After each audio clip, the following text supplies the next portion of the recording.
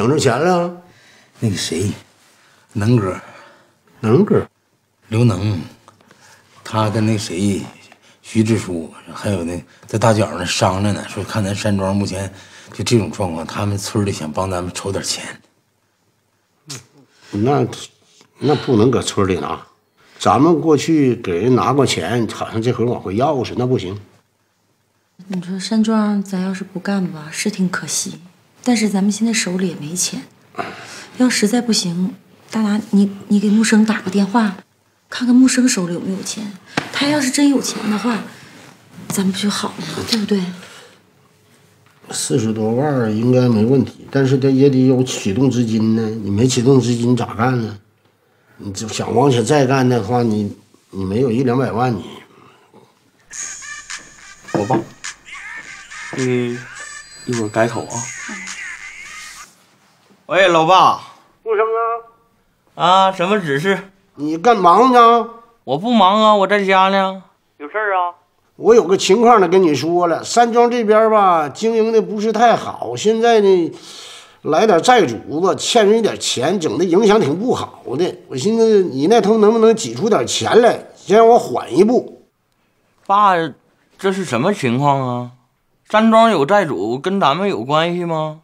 那山庄你不都承包给刘大脑袋了吗？你隔着的梦，隔着圆，你让他自己办呗，你跟着操啥心呢？再一个，我现在在这边，这马上这就要开业了，过来呗，我给你接过来。你到这边你是要当董事长啊？你是吃香的喝辣的？你想干啥？不顺便帮我捡个彩？咱帮不了他这事儿，爸。然后你帮一回能帮百回吗？你帮完这回还有下，咱对他已经这个仁至义尽了，犯不上操那个心，你让他自己处理。你看，听他说一堆，你不还是不想借吗？哎呀，我不是不想借，我这钱不都投二七这儿了吗？你要说拿个三万五万的，我这我这马上就给你打过去。但我一看，这这这好像是解决不了这个事儿。你就听儿子，你过来上我这儿来，行不行？那行吧，我再研究研究。那好嘞，不行你再给我打电话啊。好了，这事儿怎么了？老爷子不嫌操心。告诉说是让抽出点钱给山庄店，他说刘大脑那边欠钱了，就搁我这想串点钱，那你就给串点呗。我串点我不干了吗？我不都投都都投投到二期，我这将哪将够呢？哎呀，怎么办呢？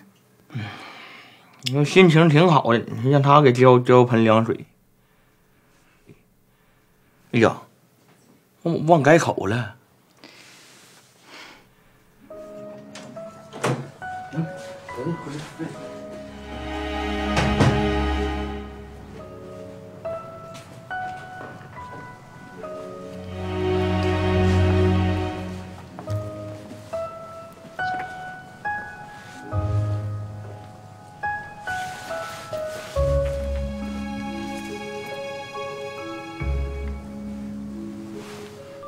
电话，你电话。哎，哎，兄兄兄弟，这这怎么样了？那个是这样啊，哥，你听我跟你说，你告诉大伙儿啊，就别筹那钱了啊。那个山庄不办了。啊？这这，那因为啥呀？你别问了，谢谢大伙儿啊，哥，我得谢谢你啊。那好了，我挂了啊。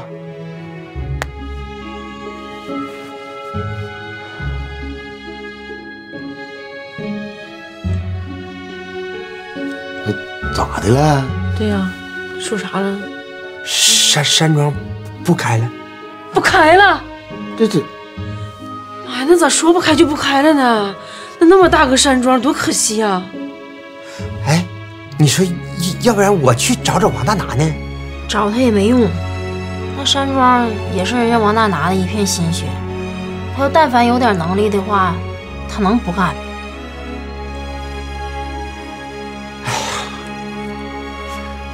万万没有想到是这个结果。哎呀，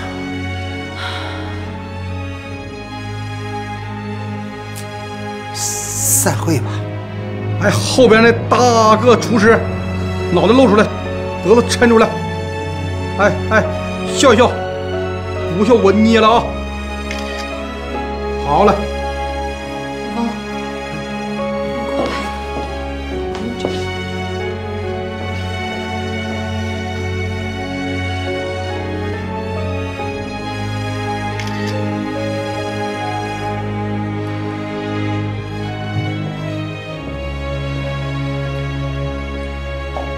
跟大家说几句话吧。大家也都知道，山庄现在是黄了，刘总的心情也挺难受的，就没过来跟大家告别。我就代替刘总跟大家说几句。首先，我替刘总向大家说声对不起。山庄经营成这样，是谁也不想的。我知道大家也都挺难过的，大家也不用上火，没事儿啊。嗯，我知道还有几个人的工资还没给呢，是不是？刘总说了，这两天肯定能给你们，卡号我这都有，回头我给你们打卡里，啊，不用担心。然后今天晚上要是有着急回家的，路上啊一定要注意安全。以后啊没事我们还常联系，不能因为离开山庄了就不联系了，啊。那行，没什么事儿，大家就早点回去收拾收拾东西吧。走吧。等会儿，我那个说两句。李副总，你你坐这儿，你坐这儿。那个大家都别在这站着，随随便坐。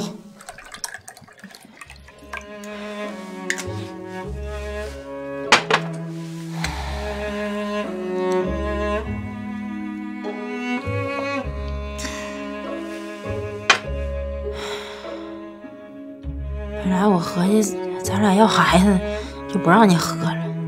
你现在心情不好，喝点儿。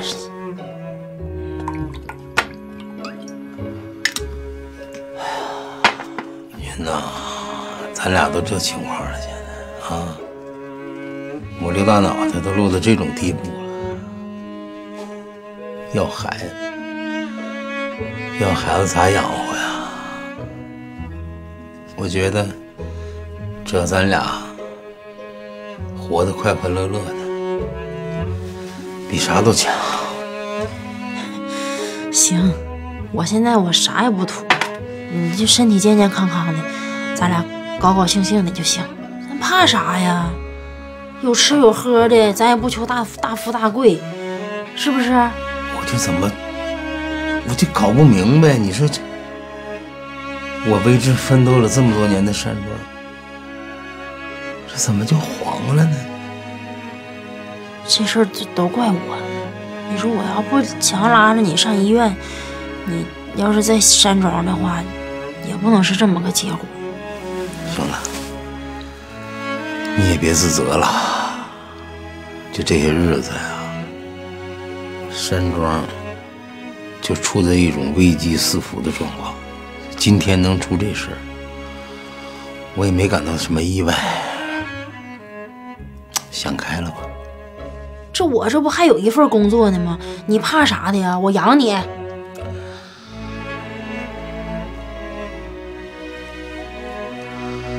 没想到啊，我刘大脑袋活到这个年龄，还得靠女人养活。你说你这话说的，那我是你媳妇儿，那我养活你咋的？别别人还能笑话你啊？别人是不笑话，我自己笑话我自己呀。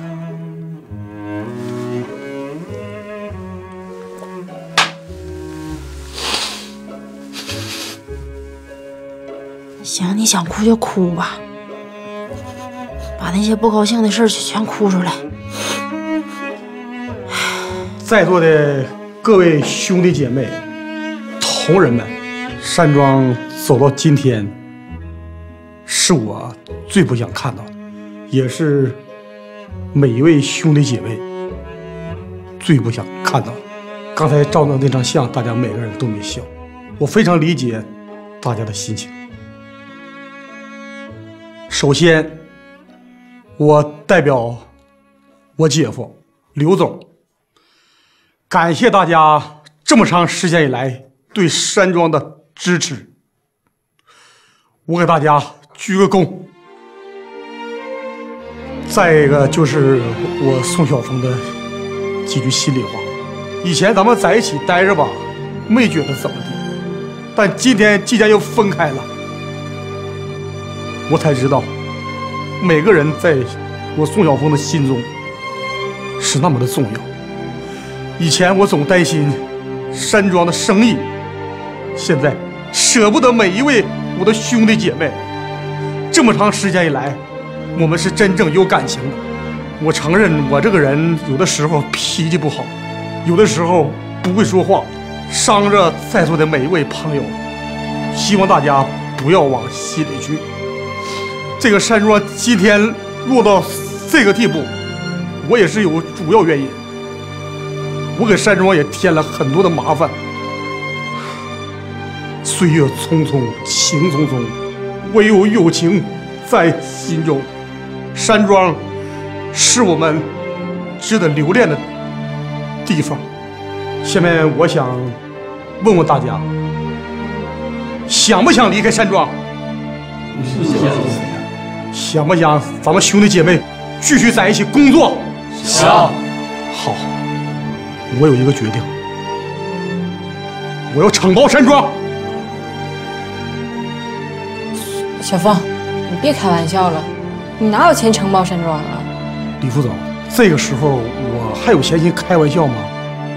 没有钱，我可以想办法。李副总，我就想问你，我宋小凤要是承包山庄了，你能不能继续跟我接着干？小凤，这么说吧，你要是真能把山庄承包下来，我愿意继续跟你干。好，那今天晚上谁也别走，我马上去找董事长谈。如果谈下来，咱们接着在一起，好不好？好。等我信儿吧。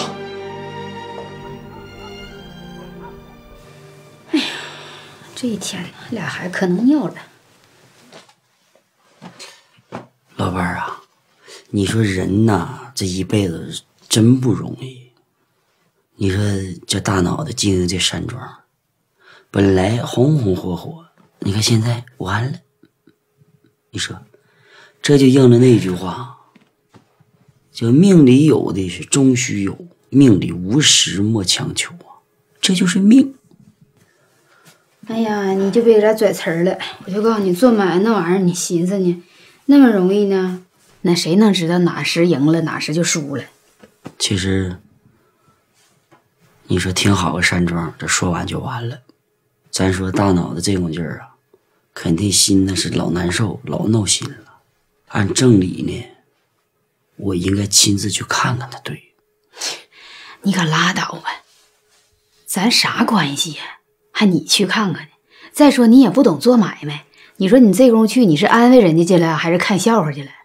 你呀，这话说的就不对。什么玩意儿？我看笑话去呀？还我不懂做买卖？我跟你讲，就做买卖这玩意儿，我可以说是轻车熟路。你说，永强和小萌，他俩这生意要没有我指点、出谋划策，他能有今天这么辉煌吗？那不可能。你说这还我还不懂呢。哎呀妈！你要我要我说你啥好呢？你说你哪那么能吹呢？你孩子们的事哪个是你给指点的？人到难处就需要有人去帮一把。你看我这提提大脑袋，你说你就整些。行了行了。哎呀，哎，老伴儿啊，我好像听孩子哭呢。是吗？你听。我咋没听着呢？你这耳朵现在也不好使啊，你细听听。我看看去，听啥？我看看不就得了？哎呀，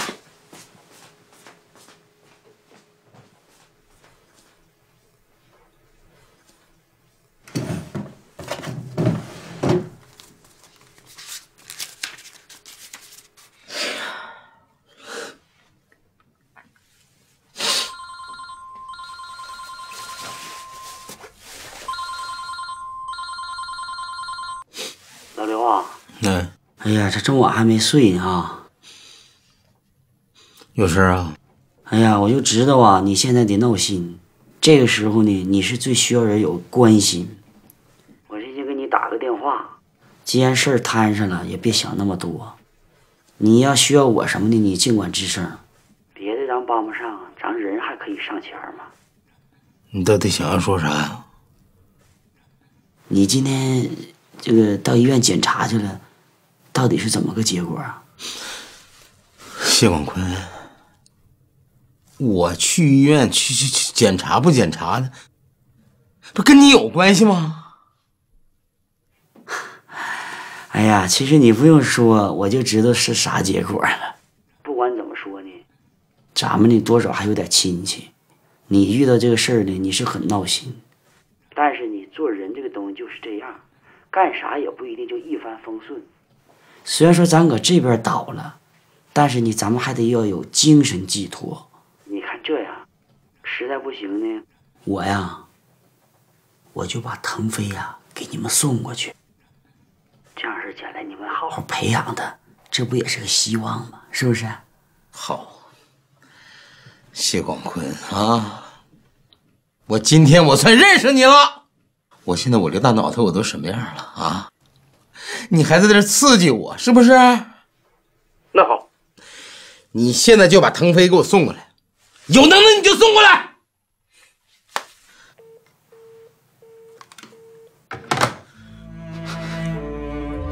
你说，你说这这什么人这是啊？你说都都这时候了，还往我伤口上撒盐？老刘，你别跟他一样了，我找他去。行了，别去了，墙倒众人推呀！我刘大脑袋从此得低头做人了。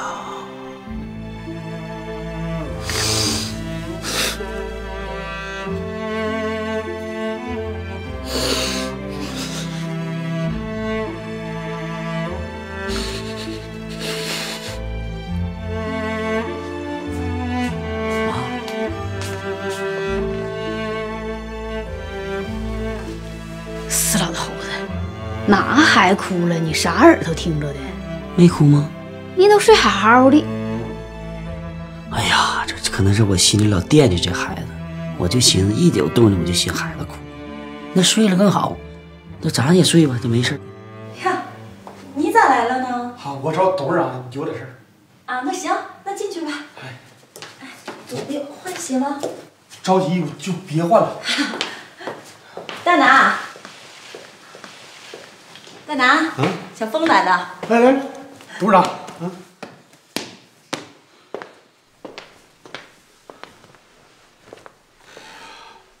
坐。哎，这山庄整成这样，你说？董事长，我来这么晚来找你了，我就奔山庄这个事儿来的。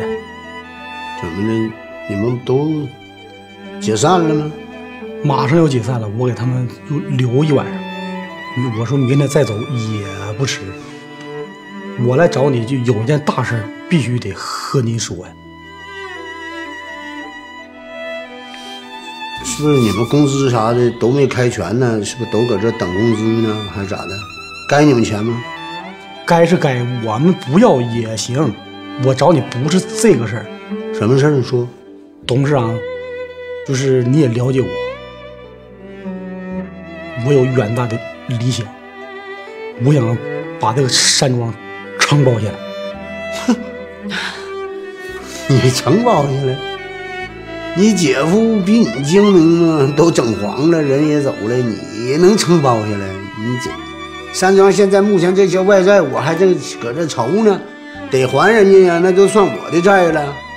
外债我已经揽下来了，我跟这个债主都说了，明天十二点之前把钱给送过去。你上我这要钱来了？不是，我能整着钱啊？你上哪整钱去？我最近吧认识一个朋友，也是一个女朋友吧，但是我俩没处过，她对我印象挺好的。他们家有钱，我寻思向她张口的话，她一定被。能把钱借给我？这钱还没借着呢，说没呢？还没说呢，但是百分之一百我能能借的，就我用人格担保，我能把这钱借。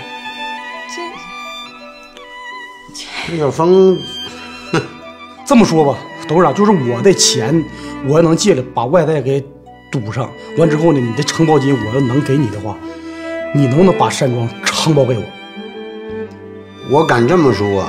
你要能把这钱借来，把外债堵上，能把山庄整起来，我在这一两年内，我不要你租租租金啥的，你能干？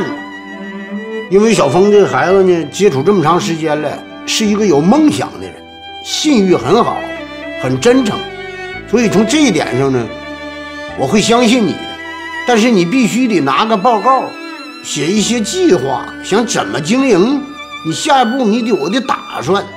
董事长，我首先我谢谢你，经营吧，我虽然说不懂经营，但是我懂得人心。我认为人心都是肉长的，不拿顾客为上帝，拿顾客当我我的家人，让顾客来到咱山庄就像回到家一样，像过年一样。我有信心把山庄能做起来。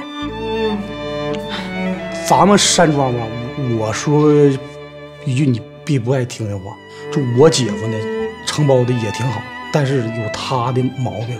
山庄做的太高端了，鲍鱼、海参，外地客人谁上这儿来吃这个呀？人就奔着咱们农家菜来，咱得以农家菜为主，大大锅炖菜，东北大秧歌再给它上上去，像回到咱们山庄，就好像回到六七七十年代过年那种场景，他不就开心了吗？小峰说的有点道理。嗯。那这样，我回去做一个方案子给你拿来，董事长，你再看看。你现在还没借钱，你把钱借了呀？得先把前面事儿解决了，完事儿咱再再啥？你再做方案。行，这事你都能办，我就包给你。行，我把钱借来，我做做方案，我再给你看看，行不行？行行行行。谢谢董事长，谢谢杨总，我代表所有山庄人员给您老敬个礼。董事长，谢谢。不用。哎呀，你能把山庄肩负起来，我还得谢你呢。你别着急，慢慢稳稳当当的，好不好？哎，好，好，好，咱们就别握了，我我走了，董事长。那个，我送送你吧。谢谢董事长。那你慢走啊。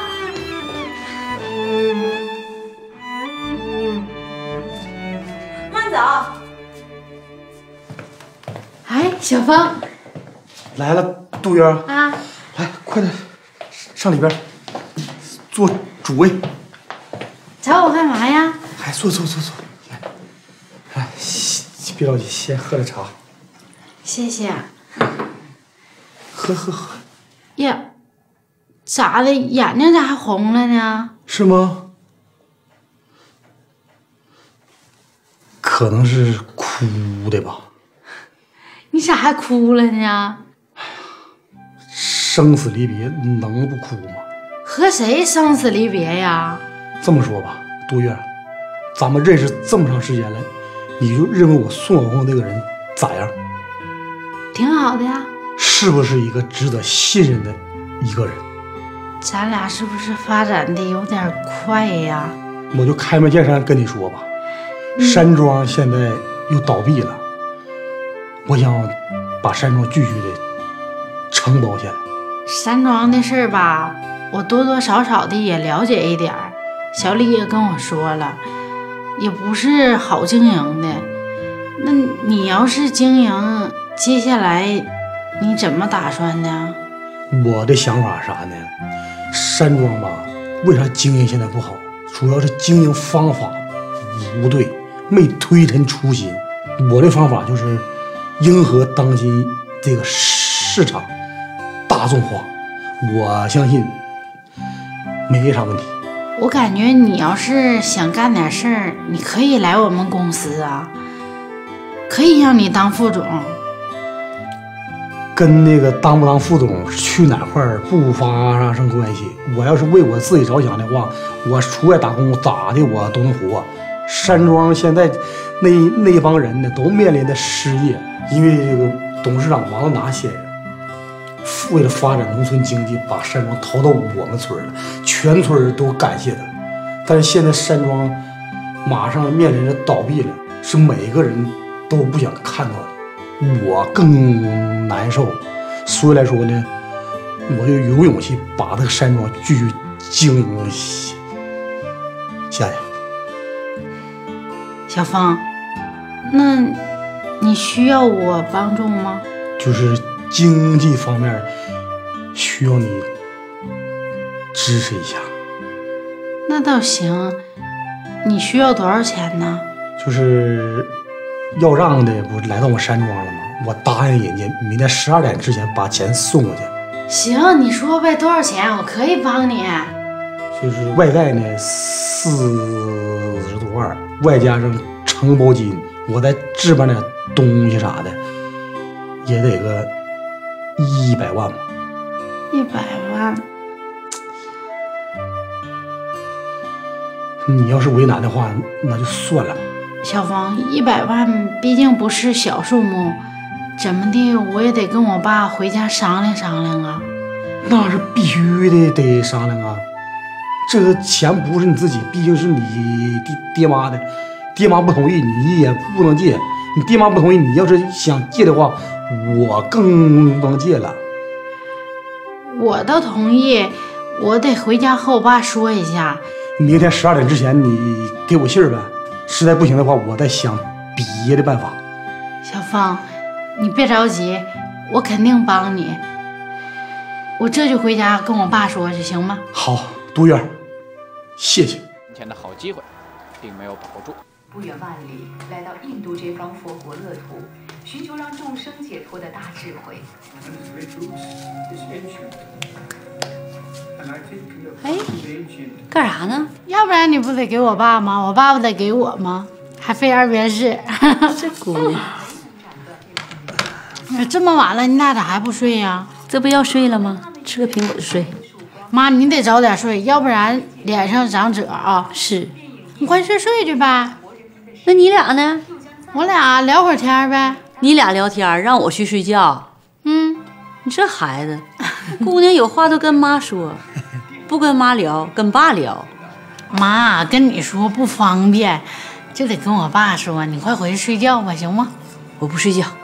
你要不回去，爸，走，咱俩回房间聊去。走啊，妈。这姑娘，那得了得了，你俩搁这聊吧，我走了。这多余我一个。太好了，老妈，早点睡啊！把我整的像后妈似的。快快回房间里，把门关上啊，妈。早点睡。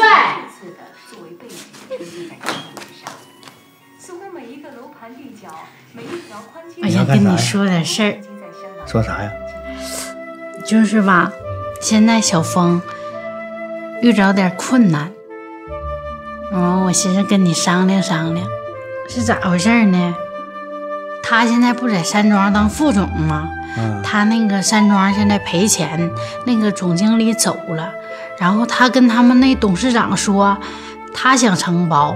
现在这山庄吧，欠外债好像有四十多万，然后启动资金呢也得需要五十多万，他没有这钱，然后他跟我说想借，我寻思跟你商量商量。你跟他啥关系？现在确定没？现在就是好朋友，哦，嗯，也没没确定。嗯，那朋友有事儿了可以帮帮吗？那没问题。你我有我不给你三百多万吗？没有了。有，那我能私自借他吗？我私自借他，你该心疼我了。说姑娘，你怎么把你那钱借给人家了？嗯，爸这有，你咋不从爸这拿呢？你该怕我上火了。我姑娘，我姑娘太聪明了，就该套老爸来了，是不？啊，爸，你看，他要借多少钱？一共一百万就能够。嗯，一百万就能够，但是呢，可以借给他钱，打个借条。为什么这么说呢？毕竟就是说你俩没有确定关系，你都朋友，打个借条行不？你不说，人家都给我打借条，就他那个人，这借条我要是不要，他都不能从咱们借这个钱。那行，那这两天你就让他把账号给我拿过来，完了我给他打过去。就这么定了。但定是定，但是我这人品咋样啊？行不啊？我敢保证，就是我处这么多对象里边，啊啊啊他人是最实在的。他身上有一股劲儿，我也说不好，反正我特别喜欢。行行，只要我姑娘喜欢，我姑娘看准的，老爸都支持。那就这么定了。定了。老爸，你太好了。哎呀，字儿写的不错呀。能不能睡觉去呀？咱几个不合计帮帮你吗？别帮我了，我现在思路非常清晰，我得连夜把这个方案得写出来，哥仨赶赶紧睡觉去啊！哥，喝点水。好，谢谢峰哥。无论山庄以后的前景如何，你永远是我们的好大哥。好，你真的是我们打哪儿？好，就看你的文笔，我觉得啊，你绝对是当老总的材料。对，死兵这话说的对，你现在特别有官相。那哥，那什么，你现在如果有不会的字儿啊，或者有啥不明白的，你可以问问我，我上过高中。你还是睡觉去吧。啊，赶紧睡觉去。嗯，那行，完你想想着点问我啊。好。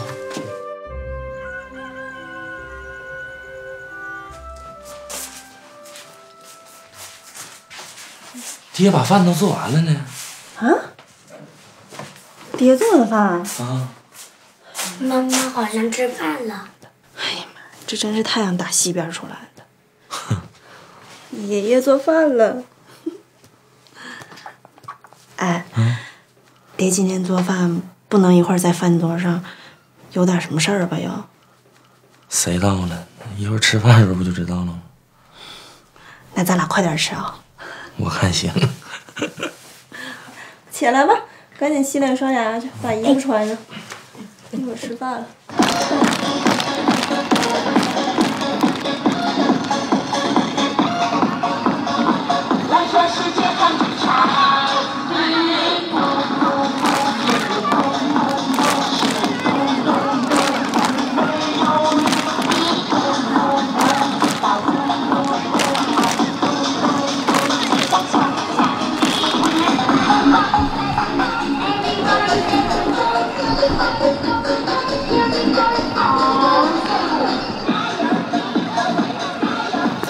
皮主任呐，王校长，以后啊别叫皮主任了，叫皮老师，叫习惯了。王校长，要不然我还想跟您说呢，赶紧给我安排教课呗。别急，你离开学校这么长时间了，我怕你不习惯。要不然先管管行政方面的。不用，王校长，以前呢我在小学的时候也教过课，你放心，我肯定能把课教好，你就安排。那好，那我就给你排课了啊。你这样，你不管语文呐、数学啊啥都行，我抓紧时间备课，行吗？知道，你都是全能的。行。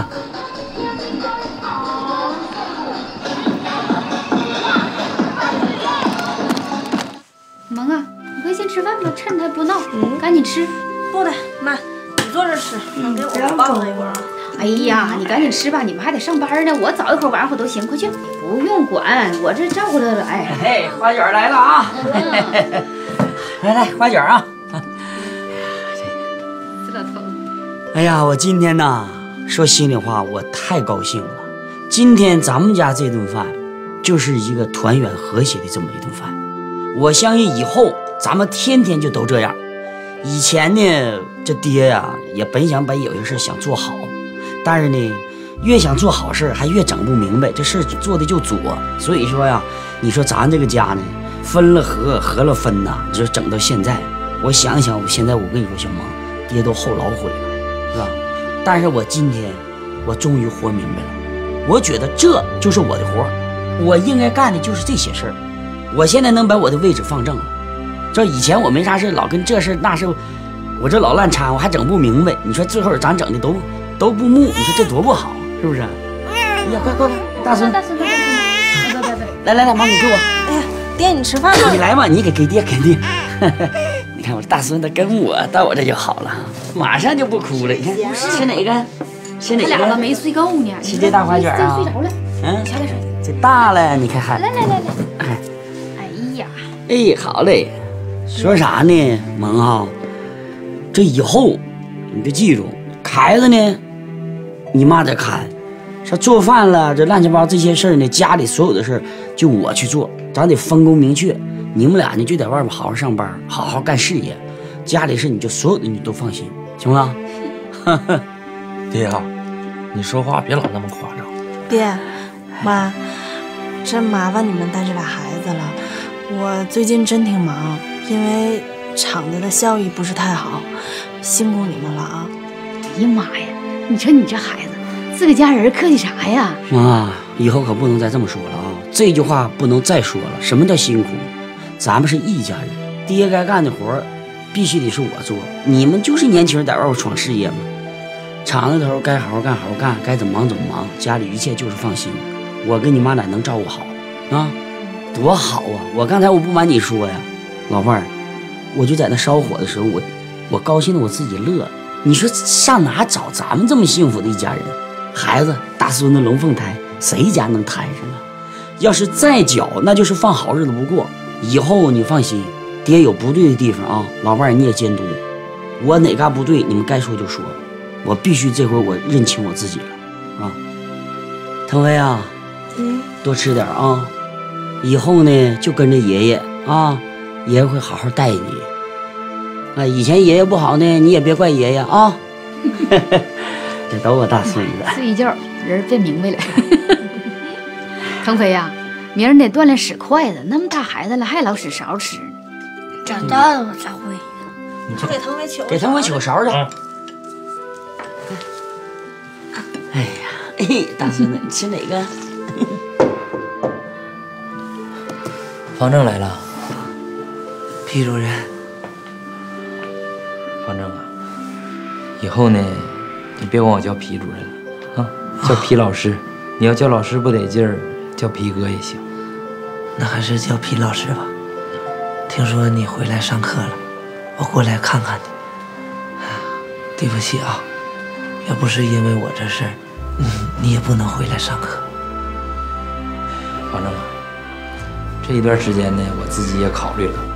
其实这个事儿从头到尾跟你没关系，是我自己没做好，你别自责啊。要不我跟我姐夫说说，把你调回去吧。反正，我调回去或者在这儿当老师，那不是书记说了算的，你可别给书记添麻烦了。我的事儿呢，你就不用管了啊。你现在干啥呢？我现在在家呢，我姐夫也给我说了，我现在也挺后悔。行吧，嗯，那你以后有啥打算？在家备课。备课啊？你都不在学校了，你还备啥课呀？不瞒你说，教师这行业我非常喜欢，我特别羡慕你们。再说了，我还有教师证。等待考老师的时候，我努力争取，我要考一个真正的老师。行，那挺好。你这样，方正，你有什么不明白的啊，你就问我。啊，嗯，我在学校等你。我也希望咱们真的成为同事。那你你不生我气了？哎呀，生啥气？你真好啊！要不我请你吃点饭吧？改天吧，我也得备课呀，你得回去备课。可也是啊，那我就不打扰你了。方正，嗯，回去呢给袁书记带个好。你放心吧，指定带到。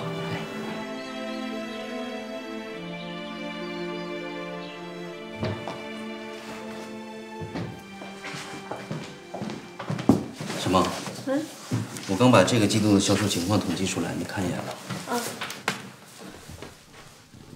嗯。怎么下滑的这么严重啊？我跟杨总已经尽了最大的努力，但是现在市场竞争太激烈了。就这一段时间，咱们镇上就开了三家豆制品厂，而且每一个的投资都更大，技术也更先进。我觉得现在咱们应该追加投资，扩大规模了。现在要想扩大规模，风险太大了。毕竟市场前景我们看的还是不是太清楚。那我倒是觉得，咱们现在就应该做好横向转型的打算。什么意思？就是说，做豆制品生意，我们已经没有发展空间了，不如干脆转型。不行，你看我们豆制品生产设备太落后了，你往外出队也没人对的都。况且我根本没有转行的想法。我所想做的豆制品，就想原生态、纯绿色。我不想像他们那样做加工豆制品。这个季度的下滑跟我也有原因，请了这么长时间的产假，一直也没关注公司的事儿。这样，你把大家都召集起来，我给大家开个会，让大家都收收心，我们再加把劲儿，看看下季度的情况。好吗。